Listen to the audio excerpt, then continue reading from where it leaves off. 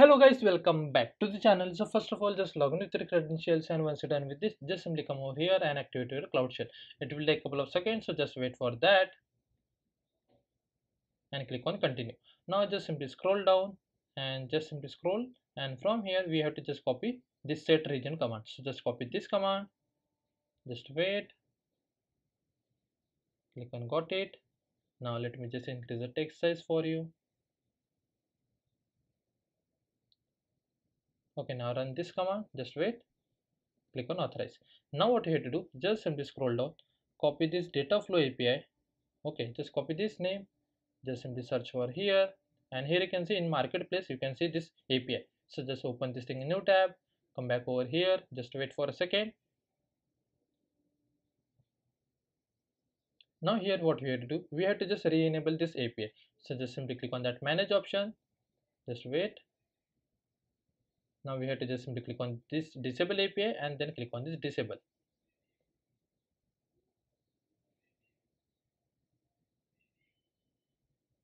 So it's done. Now we have to just simply click on enable. So we are done with this task.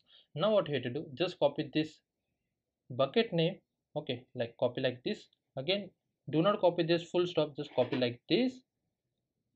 Come back over here. Now just simply search for the bucket. Click over here wait for a second. Click on create bucket.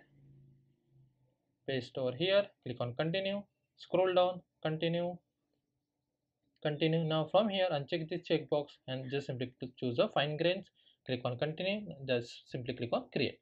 So we have done with the task number one. Now just wait and it's done. Now if you just simply click on this check my progress you will get a score without any issue. Now what you have to do just copy just copy this command. Go back to your cloud shell and run the command over here. Just wait until this command get execute. Meanwhile just simply copy the second command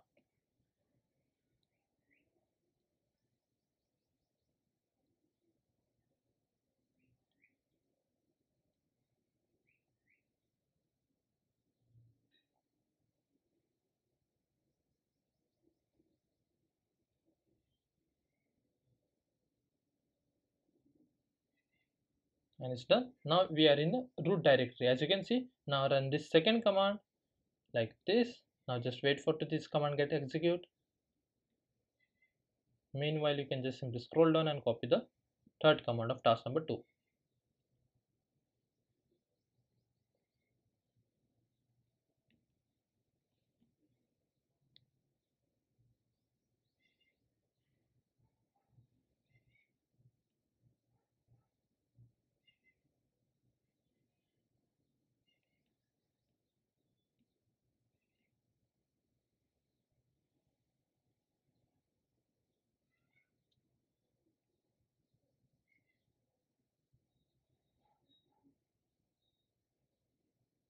now it's done. Now run the third command of task number two.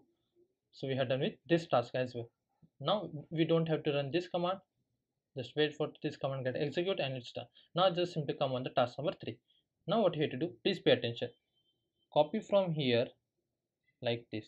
Now if you want you can just open the online notepad as well. Okay now run copy this command like this. Paste over here. Now what you have to do just simply scroll down scroll up and copy this bucket name like this and paste over here. And make sure it must look like this. There is no full stop after the bucket. Okay it must look like this. Now copy this thing. Go back to your dashboard. Run over here. So it's done.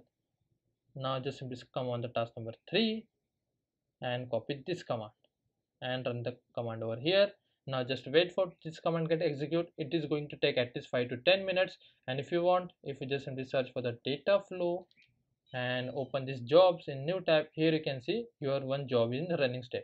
Now just wait for at least 5 to 10 minutes and make sure that your laptop will not go for a sleep. Otherwise your cloud shell will be disconnect and because of that you won't get a score on the task number 4 so just wait for at least 5 to 10 minutes. After that we will see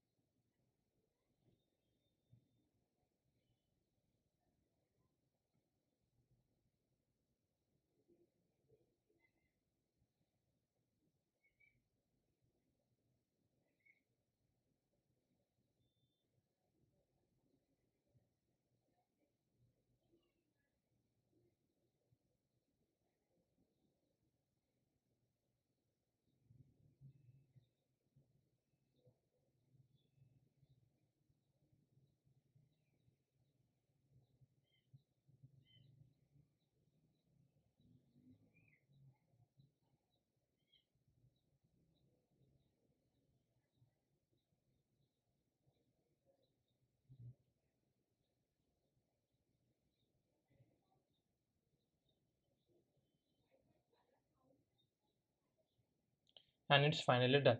Now if you just simply come back over here and refresh the page here you can see your job has been succeed and it took around 5 to 5 minutes 36 sec now if you just simply click on this check my progress you will get a score without any issue. And that's the way we have to complete this lab. If you still have any doubts please let me know in the comment section. Thanks for watching and have a good day guys